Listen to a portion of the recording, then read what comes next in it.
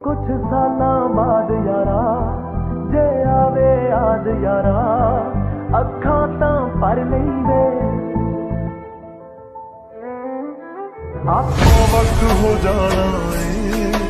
ਏ, ਇਹ ਗੱਲ ਪੱਕੀ ਏ, ਬਸ ਸਬਰ ਜਾ